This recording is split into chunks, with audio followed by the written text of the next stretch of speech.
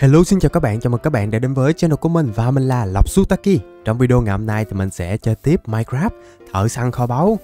Và tình hình là mình đang cần một cái bác dân làng thủ thư nữa. Thế nên là sẵn tiện kế bên mình có ngôi làng á. Mình sẽ nhờ một bác qua đó để giúp mình ha. Ừ, ui. Mình nghe tiếng dân làng đâu đây? Ờ ồ Bác đi đâu ấy nhờ? Thôi giờ đừng học ngày này nữa, ngày này lỗi thời rồi. Bỏ ngày này đi. Đây đây. Về đây bên nhau ta nói lại tình xưa bác ơi. Rồi, dẫn bác dân làng về nhà trước đi ha. Mặc cái cánh bay về cho nó nhanh nè. Rồi, tới công chuyện bác dân làng luôn. Rồi, về thôi. Hy vọng là lần này chúng ta sẽ sớm có được cái quyển sách Sắc bén nha. Mình đang cần một cái bác dân làng bán cho mình cuốn sách sắc bén đấy. Uhm... Mà coi coi, Cái kiếm rồng mình đâu rồi ta? À đây đây đây, kiếm rồng mình đây. Mình sẽ ép cái dòng sắc bén vào cây kiếm rồng này Để nó làm vũ khí chính của mình ha. Chứ hiện tại mình đang dùng xen kẽ giữa hai cây kiếm này này. Khá là bất tiện luôn. Rồi, giờ thì bác dân làng mới này, Mình sẽ tạm thời Cho qua bên đây ha. Ủa, mình đập cái bục này được không ta?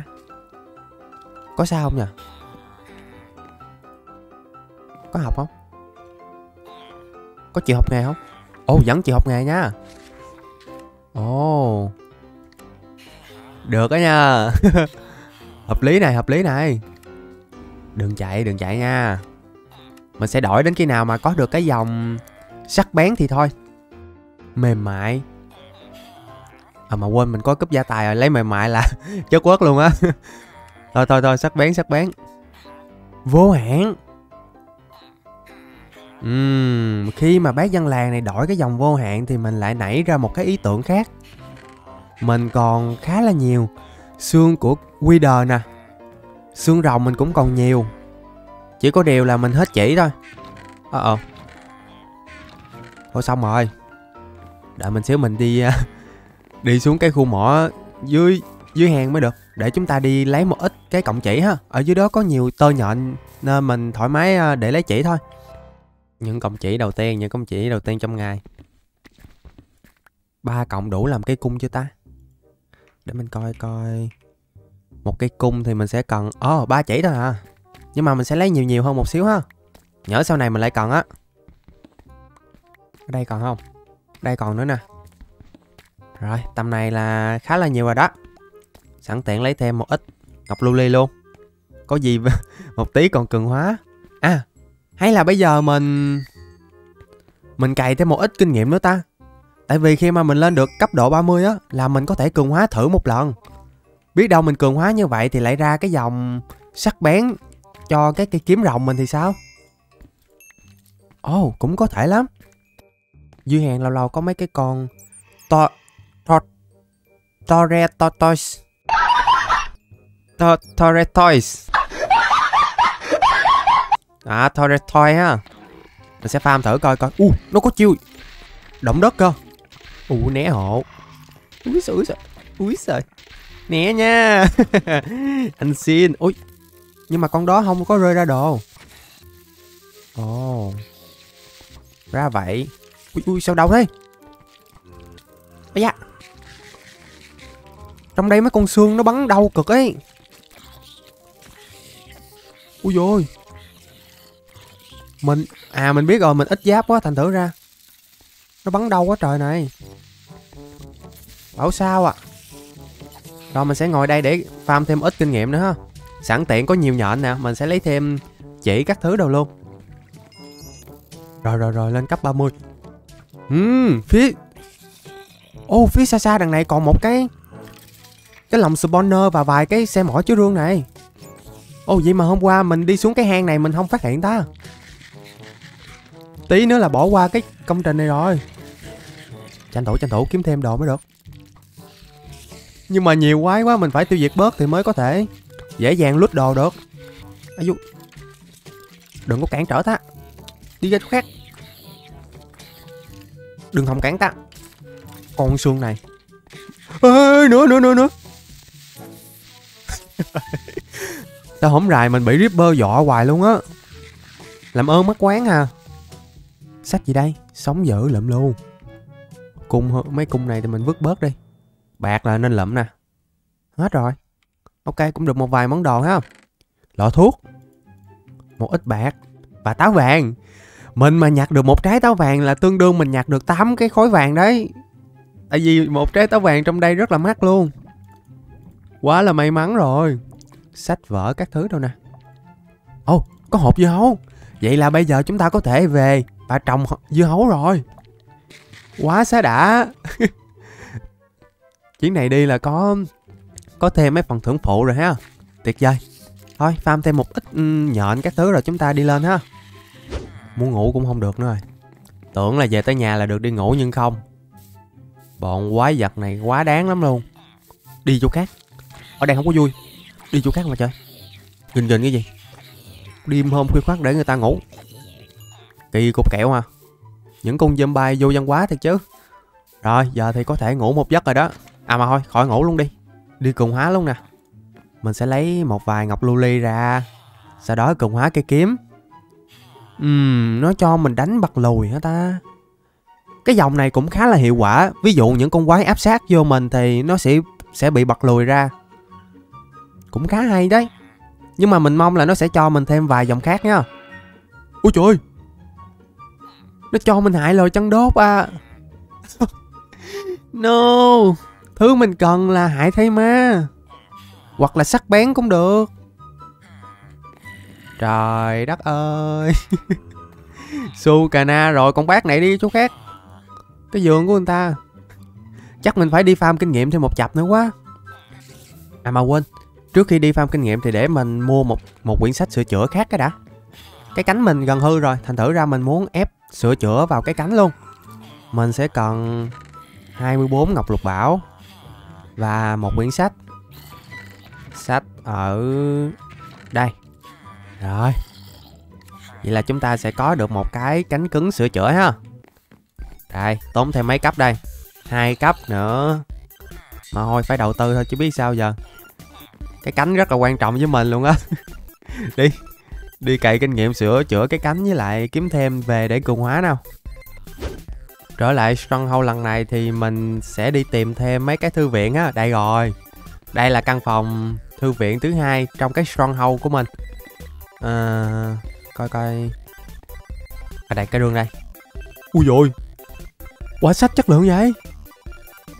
Ý toàn là ô hấp này capacity rồi sức mạnh cấp độ 4 mình thấy dòng sức mạnh này là ok la này. Bảo vệ khỏi sát thương khi rơi, mắt là cấp độ 5 ok. Hiệu sức 3 lòng trung thành nạp nhanh nè. Xuyên thủng. Ổn áp phết đấy. Được được. Rồi, giờ thì lên tầng trên để coi coi. Tầng trên thì nó sẽ cho mình thêm những quyển sách gì ha?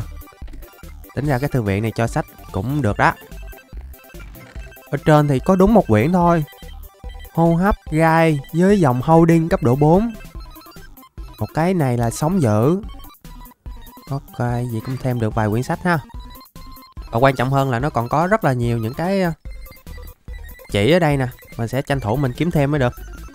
Và quan trọng nhất vẫn là mình sẽ qua bên thế giới kết thúc để mình farm kinh nghiệm thôi.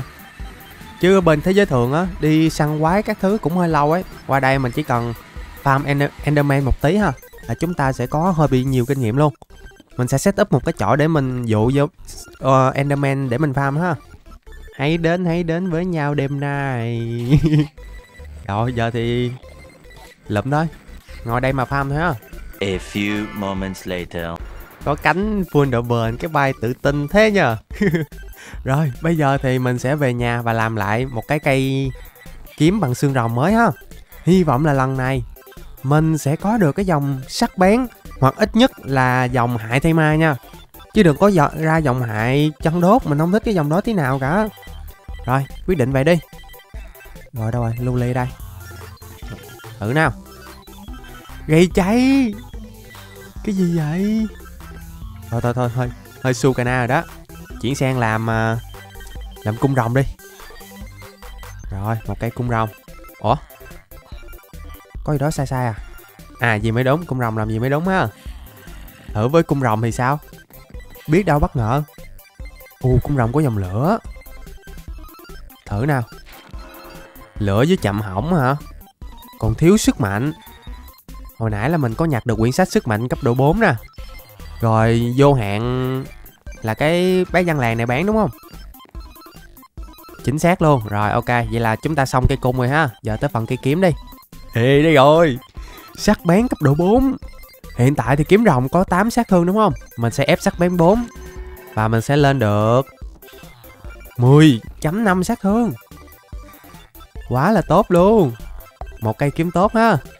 Giờ thì chắc mình chỉ cần trao đổi với bác dân làng kia để chúng ta lấy dòng vô hạn nữa thôi. Ép vô cây cung là có thể lên đường đi khám phá rồi. À, Ủa? Ủa cái bé dân làng đâu rồi? Quay quay À định bỏ trốn hả? Chạy đi đâu? Mình đã giữ về nhà rồi, đừng có hòng chạy.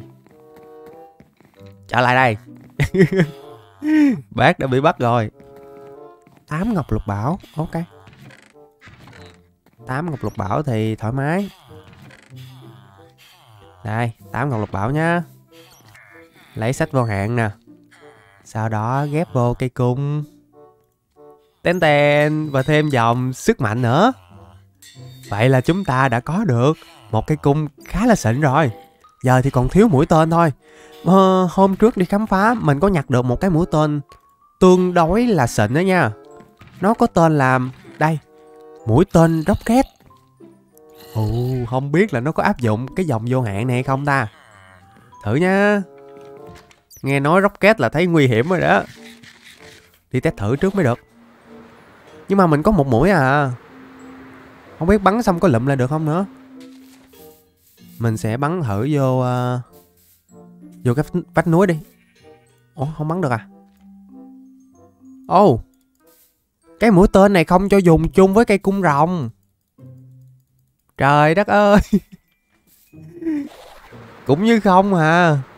Công tình Chế tạo cây cung rồng cho đã Nó không cho dùng chung à Buồn vậy. Chỉ là phải dùng một cây cung bình thường rồi. Ok mình đầu tư một cây cung bình thường để test thử luôn nha Tò mò quá. Không biết là sức mạnh của nó như thế nào ấy. Có nào bắn xong rồi nó phát nổ? Hay là nó có một cái chức năng gì xịn sò hơn? Ừ cũng có thể lắm. Ủa và hình như cái cung rồng này dùng phải dùng cái cái mũi tên mũi tên rồng hay sao ấy ồ đúng rồi. Nó phải dùng mũi tên rồng thì mới bắn được. Suýt nữa thì toan rồi. Đây mình sẽ làm mũi tên rồng ha. Bây giờ thì mình sẽ đi so sánh sức mạnh của hai cái cung coi. Một là cái cung rồng của mình nè Mới chế tạo rồi nâng cấp các thứ luôn. Mình sẽ bắn vô con xương một phát coi chết không?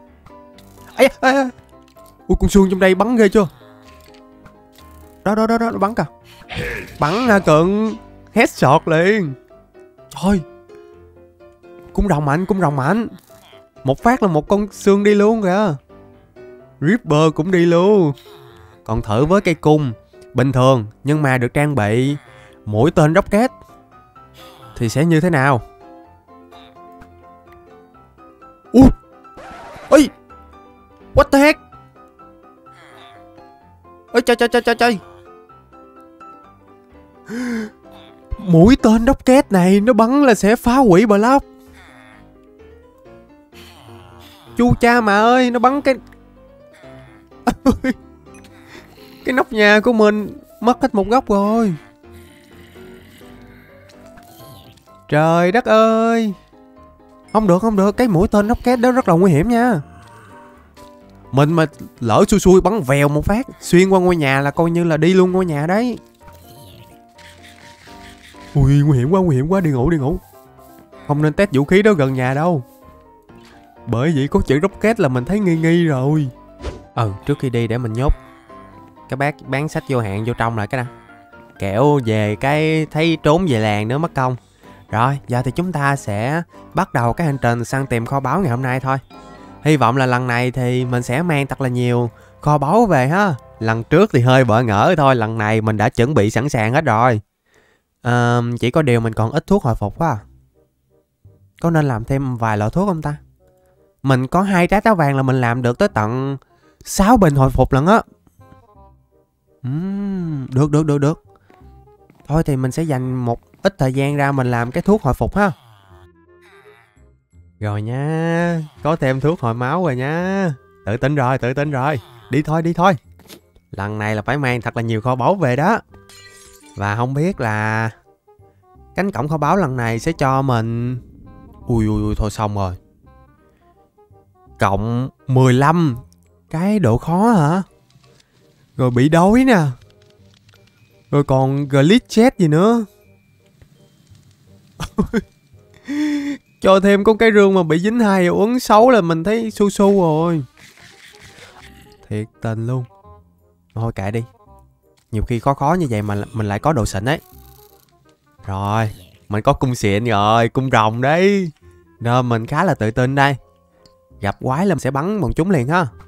Không để bọn chúng có cơ hội áp sát. Và lại có những cái rương ở phía trên kìa.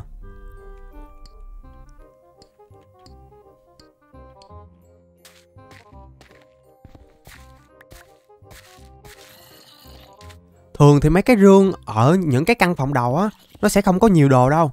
Hoặc là có đồ nhưng mà đồ sẽ rất là bèo đấy. Mình sẽ thử nhá. Kiểm tra thử trước đi. Ôi dạ. Từ từ từ từ. Đó, Nó có xương xương vài kim cương thôi. Không có gì xịn lắm. Ừ Cũng có những cái mảnh này. Ôi ôi, vậy vậy thôi, không bỏ đâu. Nó có mấy cái bánh kho báu này. Mà mấy cái bánh này ăn thì mình sẽ lên cấp ấy.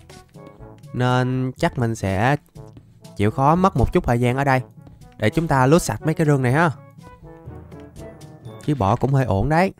Nhưng mà cái chỗ này khiến mình bị đói rất là nhanh luôn. Rất là cay cú nha. Mới ăn xong một tí lại đói à. Bực hết cả người rồi mình sẽ mang cánh cứng vào. Để mình lượn qua bên đó cái.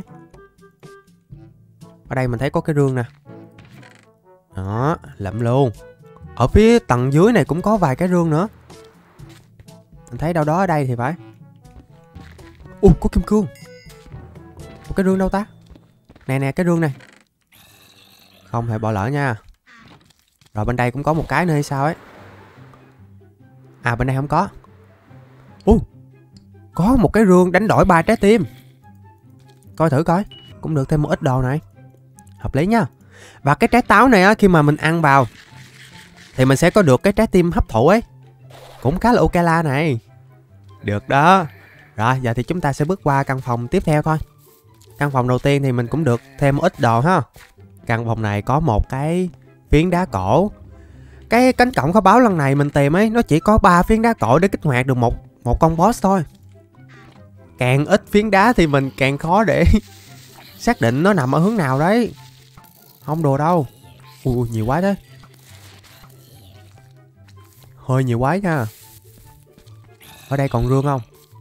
Nhiều khi rương nó cũng có thể giấu trên mấy cái đọt cây ấy, Nên mình phải kiểm tra thật là kỹ. Giờ trước mắt là mình đi theo một đường thẳng đi. Mình rút kinh nghiệm lần trước rồi, Lần trước mình đi kịp, tìm kiểu lung ta lung tung á, Nên rất là khó luôn. Giờ thì mình sẽ đi trước một cái đường thẳng ha. Rồi một tí hẳn quay lại mấy cái hướng còn lại sao? Ôi Khói kim cương. Wow wow wow. Hợp lý này. Mình xin nhá. Lẫm khối kim cương trước. Lẫm thêm mấy cái Cái mảnh uh, Thông tin này. Ô oh, và mũi tên rocket. Yeah. Hợp lý này. Có mấy mũi tên rocket là mình thấy khoái khoái rồi đó. Rồi ở đây nó có cái rương mà nó bị che bởi khối hắc diệm thạch này. Kỳ cục ấy. Ui cứng thế cái khối hát diêm thạch trong đây cứng lắm. Wow. Mình có thể dùng cúp để mình đập cái rương Và lấy đồ trong đó ha.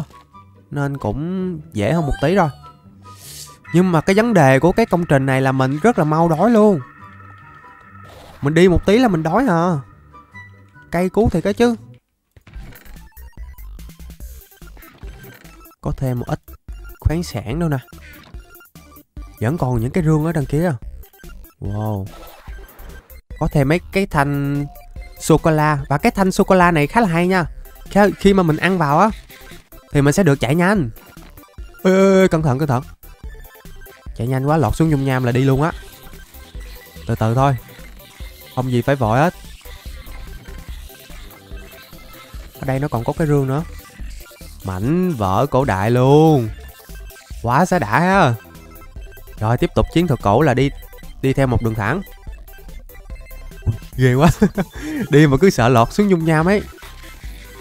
Rồi con, sượt con zombie đi ra nha. Có cây cung này xong khám phá cái công trình này ấy. Đúng tự tin luôn. Một phát là một con à. À và đây. Phiến đá cổ thứ hai. Ô. Bữa nay mình hên vậy? Mình gặp được hai phiến đá cổ trong tổng cộng 3 phiến cần tìm rồi. Thích nha. Ui đầu xương đen đâu nè. Lướt sạch luôn. Còn đâu nữa không? Dưới này còn rương không? Uhm, Dưới này có vẻ là hết rương rồi. À con con con con Ồ Đồ xịn đồ xịn. Nó còn cho mình một cái trái táo nữa. Trái táo này thì mình Mình sẽ được Đào nhanh Đào nhanh ba luôn. Ui, trái táo này tốt, trái táo này tốt. Ăn vô mình sẽ đào rất là nhanh. Và đây có cái rương gì? Cái rương đánh đổi một phút hả? Mình lỡ kích hoạt luôn rồi. Mở thôi. Ê, lại có đồ, lại có đồ này. Ta sẽ có được sao nè đờ và một vài cái bánh này. Cũng như là mấy cái đồng tiền kho báu ha. Đồng tiền kho báu đó sắp tới mình có nhiều ấy. Mình có thể trao đổi và mua được những vật phẩm Với giá tương ứng ấy. Nên bây giờ có tiền thì mình sẽ tranh thủ mình nhặt ha. Chết rồi bị đói rồi. Mình không biết là mình có đủ thức ăn để chúng ta khám phá hết cái Cái cổng kho báu này hay không đây. Mình ăn một lần là năm sáu ổ bánh mì đấy. Hơi bị tốn kém luôn. Ủa, đây còn có cái Cái rương nữa nè. Quầy vậy là trong đây nó còn nhiều rương lắm. Và chúng ta là hết đường đi thẳng rồi. Mình sẽ thử đi lên cao coi coi. Ở trên cao còn đường đi không nha? Ở trên cao thì còn rương các thứ này. Dạ. Ồ không ổn rồi mình phải dùng thuốc hồi máu thôi. Mình đang mất rất là nhiều máu luôn. Ở trên cao chẳng còn đường đi đâu.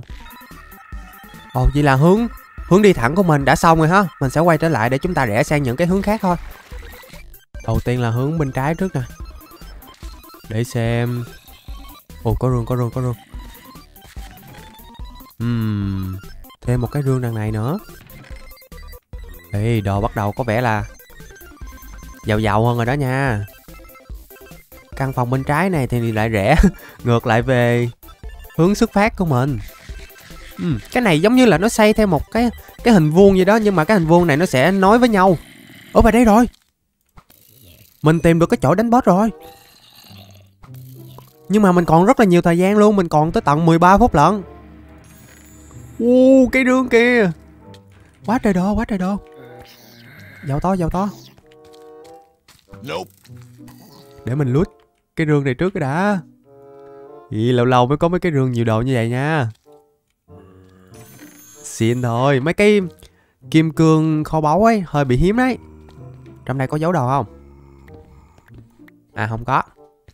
Tiếp tục tiếp tục khám phá coi. Lại thêm một cái rương nữa nè. Đầu xương đen. Trên kia còn rương nữa Nhưng mà mình phải bay rồi. Mình bay lên. Đáp lên trên đây ha. Mảnh thông tin Táo vàng. Ok. Còn cái rương nào khác không ta? Dưới nhiều quái quá. Đi cũng hơi rén rén đấy. Nè nè nè Đây còn cái rương nữa nè. Uhm, Vậy là xong rồi. Căn phòng này sơ bộ cũng thêm được Một vài cái rương. Và nó vẫn có hướng đi khác. Giờ thì mình có nên đánh boss liền không? Ôi da Chết rồi chết chết chết chết. Giải độc giải độc giải độc. Giải độc. Ui ôi. Đó Su Sukana là gặp ngay mấy cái rương bẫy như vậy là rất là nguy hiểm á. Um, Giờ như vậy đi Vẫn còn cái hướng này á Nên mình sẽ qua bên đó khám phá tầm khi nào còn 5 phút. Mình sẽ quay trở lại đây để kích hoạt cái phiến đá cổ cuối cùng và chúng ta đánh boss ha Như vậy là tối ưu nhất luôn. Mình vừa có thêm thời gian để lút thêm kho báu Mà vẫn có thể đánh boss nữa. Wow. Ui Căn phòng này tương tự giống như một thành phố ở vùng sa mạc đó nha. Đẹp ấy. Được nha, trong đây nhìn hơi bị đẹp á. Wow, có quá trời mũi trên tên gốc két đâu nè. Mình sẽ thử bay lên nóc coi.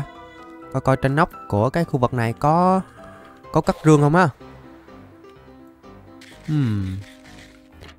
Từ trên cao thì mình thấy À, nó có rương. Kia kìa, tít bên kia lận. Đáp lên hên là không có ra rương 7 á trời. Ví dụ mà nói là rương 7 chắc nãy giờ mình dính 7 hơi bị nhiều rồi đó. Bên kia vẫn còn một cái rương nữa. Qua lấy nốt luôn. Giữ khoảng cách nha. Rồi trong đây thì chỉ có khoáng sản thôi. À vẫn còn. Gom bài hả? Bắn hết sọt liền. Ô nó còn có có đường ở dưới lòng đất nữa này. Ô. Không chỉ ở bên trên đâu. Ở bên dưới lòng đất nó vẫn có có có đường đi và có rương nha. Đây là một cái căn phòng khác. Ủa, nhưng mà mình khám phá chưa ta? Sao nhìn nó quen quen ấy nhờ? Ui ui căn phòng này là hồi nãy mình đi rồi. Ấy ấy phù thí phù thí. Trời ơi, chơi mà chọi thuốc độc. Gì đây? Đang ăn táo mà.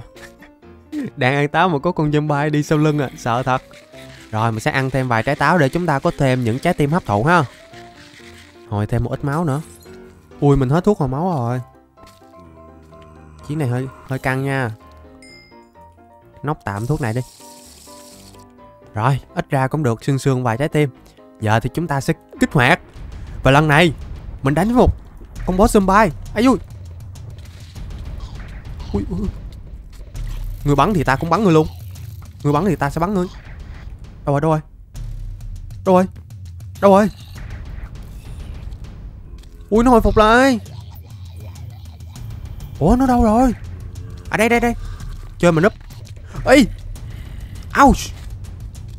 Ui, nó mạnh lắm. Ui, mình chưa mặc quân giáp. Ouch. Hèn gì? Ui.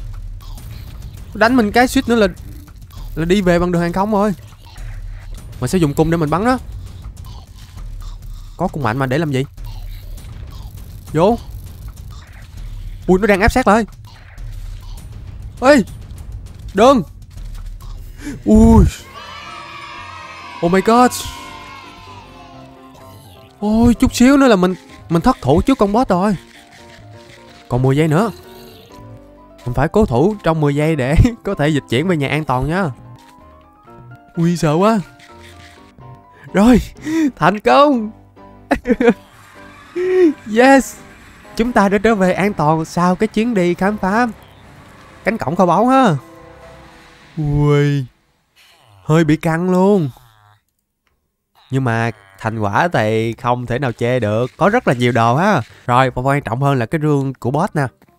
Không biết là đồ nó cho sẽ như thế nào đây? Ui lần này cho mình một cây kiếm. Netherite.